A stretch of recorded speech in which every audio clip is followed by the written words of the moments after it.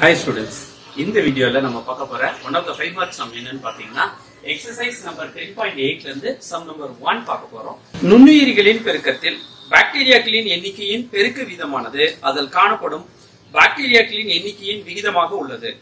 இப்பெருக்கத்தால் பாக்டீரியாவின் எண்ணிக்கை மும்மடங்காகிறது எனில் பத்து மணி நேர முடிவில் பாக்டீரியாக்களின் எண்ணிக்கை என்னவாக இருக்கும் இதே இங்கிலீஷ்ல பாத்தீங்கன்னா the rate of increase in the number of bacteria in certain bacteria culture is proportional to the number present. Given that the number triples in 5 hours, find how many bacteria will be present after 10 hours அப்படின்னு question கேட்டிருக்காங்க இப்ப நம்ம கொஸ்டின்ல பாத்தீங்கன்னா ஒரு கொஸ்டினை படிச்சுக்கணும் நீங்க புரிஞ்சுக்க வேண்டிய விஷயம் நம்ம பார்த்துட்டு இருக்கிற மாடல்ல ஒரு பொருளில் ஏற்படும் மாற்றம் சார்ந்து கொடுத்துருப்பாங்க. அந்த பொருள் அப்படிங்கிறது உயிரற்றது அப்படின்னு அர்த்தம் இல்ல. இதுல பாக்டீரியாக்களின் எண்ணிக்கையோட மாற்றம் பத்தி கொடுத்துருக்காங்க. ஒரு பாக்டீரியாக்களின் எண்ணிக்கையில் ஏற்படும் மாற்றம் எந்த ஒரு மாற்றமாக இருந்தாலும் அதுக்கு முதல்ல ஒரு பேர் வச்சுக்கலாம். இதுல ஏ அப்படிங்கிறது பாக்டீரியாக்களின் எண்ணிக்கையா நான் எடுத்துக்கிறேன்.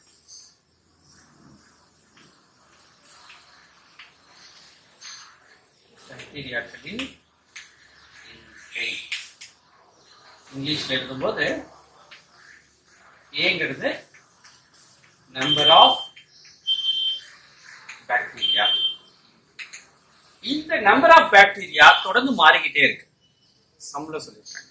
சோ எந்த ஒரு பொருளில் ஏற்படும் மாற்றம் டிஃபரன்சியேஷனுக்கு சமம் அப்படிங்கிறது நமக்கு தெரியும்.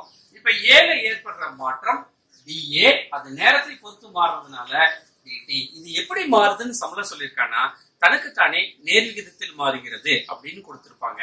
அதனால டைரக்ஷனல் ப்ரொபோஷனல் டு ஏ எடுத்துக்கிட்டேன் நமக்கு தெரியும் இந்த நேர் விகிதம் கேன்சல் பண்ணணும் அப்படின்னா நம்ம ஒரு constant சேர்த்துவோம். Equal to some constant K into ஏன்னு எடுத்துக்கிட்டேன்.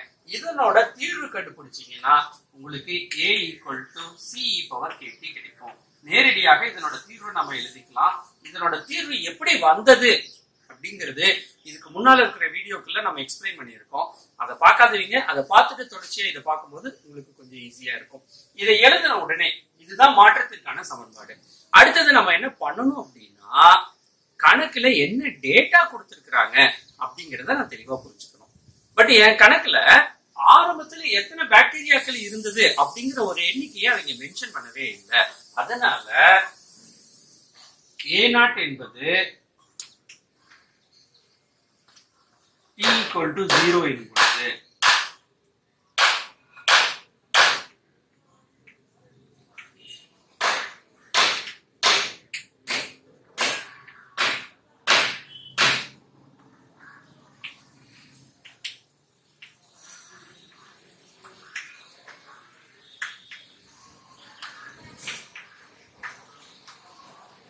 அதாவது துவக்கத்தில் இருக்கக்கூடிய பாக்டீரியாக்களோட எண்ணிக்கையை நான் ஏ நாட் அப்படின்னு எடுத்துட்டேன். டி ஈக்குவல் டு ஜீரோ அப்படின்னு மென்ஷன் பண்ணிட்டாலே அது ஆரம்பத்தில் இருக்கக்கூடிய பாக்டீரியாக்களோட எண்ணிக்கை அப்படின்னு அர்த்தம் ஆயிடும் சொல்லி A naught P the number of bacteria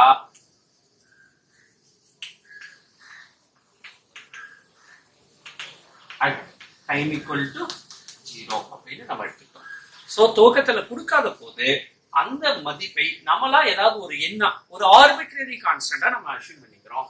இப்ப கணக்குல கொடுத்த டேட்டாவை நம்ம புரிஞ்சுக்கிறோம். டைம் ஜீரோ அப்படின்னா அது துவக்கத்தில் உள்ள எண்ணிக்கைன்னு அர்த்தம். ஆரம்பத்துல இருக்கிற எண்ணிக்கையை நம்ம ஏ நாட் அப்படின்னு எடுத்துட்டோம். சம்மில் என்ன சொல்லியிருக்காங்கன்னா ஃபைவ் ஹவர்ஸ் கழிச்சு பார்க்கும் பொழுது அது மூன்று மடங்காக மாறி உள்ளதுன்னு சொல்லியிருக்காங்க அப்ப அஞ்சு மணி நேரம் டைமுக்கு வந்து ஃபைவ் ஹவர்ஸ் எடுத்துக்கிறோம். மூணு மடங்கு. ஏற்கனவே ஏ நாட் இருக்கு. அது த்ரீ டைம்ஸா மாறுறதுனால நான் த்ரீ ஏ நாட் அப்படின்னு எடுத்துக்கிட்டேன் மறுபடியும் என்ன கேட்டிருக்காங்கன்னா பத்து மணி நேரம் கழிச்சு பார்க்கும் பொழுது பாக்டீரியாக்களோட எண்ணிக்கை என்னவாக இருக்கும் அப்படிங்கறதா நம்ம கொஸ்டின் இப்போ இதுல இருக்கிற ஒவ்வொரு டேட்டாவா கொண்டாந்து இதுல நம்ம சப்ஸ்டிடியூட் பண்ண போறோம். இதுல first data when time equal to zero ஏங்கிறது ஏ நாட் அப்படிங்கிறது நம்மளா எடுத்துக்கிட்டோம். அதை கொண்டாந்து நம்மளோட மாற்றத்துக்கான சமன்பாட்டுல பிரதியிட போறேன். ஏக்கு A naught equal to C E power டைம்ங்கிற இடத்துல ஜீரோ கொடுக்கறதுனால e இ பவர் மொத்தமாவே ஜீரோ வந்துடும் இ பவர் ஜீரோட மதிப்பு பாத்தீங்கன்னா ஒன்னு அதனால ஏ நாட் ஈக்குவல் டு சின்னு உங்களுக்கு கிடைக்கும். பொதுவாகவே இந்த மாடல் கணக்குகளை பொறுத்த வரைக்கும் எப்பயுமே ஸ்டார்டிங் மதிப்பை பிரதியிட்டீங்கன்னா உங்களுக்கு சியோட மதிப்பு கிடைக்கும். அதை திரும்ப கொண்டு போய் நம்ம மாற்றத்துக்கான சமன்பாட்டுல ரீஃபில் பண்ணிடுங்க. A equal to A naught சிக்கு பதிலா ஏ நாட்னு நான் கொடுத்துக்கிட்டேன். E இ பவர் கேட்டிங்கிறது என்னோட சமன்பாடு. அடுத்த டேட்டாவை இப்ப பிரதியிட போறோம். ஃபைவ் ஹவர்ஸ் கழிச்சு பார்க்கும்போது மூணு மடங்கா மாதிரி இருக்கு இல்லையா? When time equal to 5 a equal to 3a naught அப்படிங்கறத நம்ம உள்ள பிரதியிடணும் a இருக்க வேண்டிய இடத்துல 3a naught equal to A naught e power k into டைம்னா 5 ரெண்டு பக்கம் ஏ நாட் பொதுவா கேன்சல் பண்ணிக்கலாமா? இதுல இந்த மாடல் கணக்குல நம்ம வழக்கமா கணக்கு பார்த்தீங்கன்னா எப்பயுமே எக்ஸ்பனன்ஷியல் கேன்சல் பண்றதுக்காக ரெண்டு பக்கம் நம்ம லாக் எடுப்போம். இந்த கணக்குல அப்படியே கணக்கை நம்ம தொடரலாம். ஒன்றும் தப்பு கிடையாது.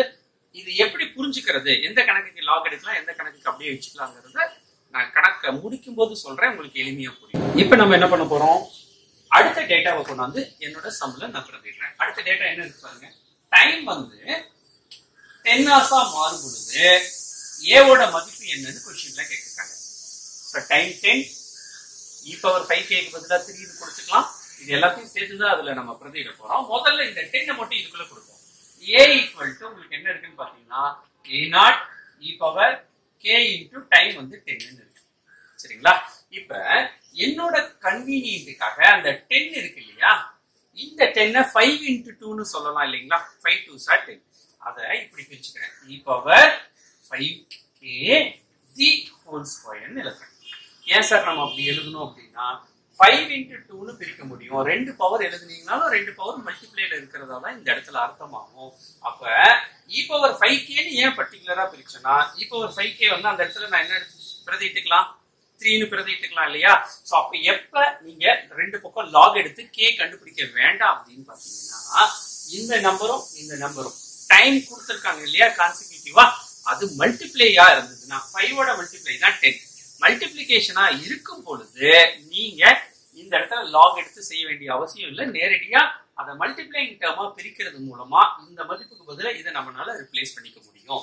அப்படி நான் ரிப்ளேஸ் பண்ணீங்கன்னா A naught E power five கேக்கு பதிலாக த்ரீ ஸ்கொயர் அப்படின்னு இருக்கிறதுனால நைன் ஏ நாட் கிடைக்கும். அப்ப பத்து மணி நேரத்திற்கு பிறகு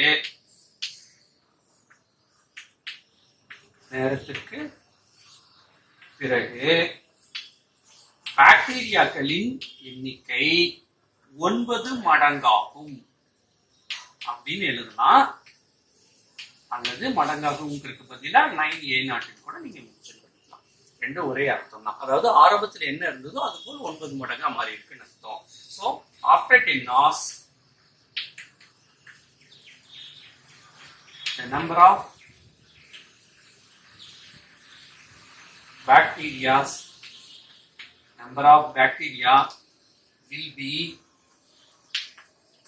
9 A naught அப்படின்னு எழுதுனீங்கன்னா நம்ம சமுக்கான ஆன்சர் கிடைச்சிருச்சு.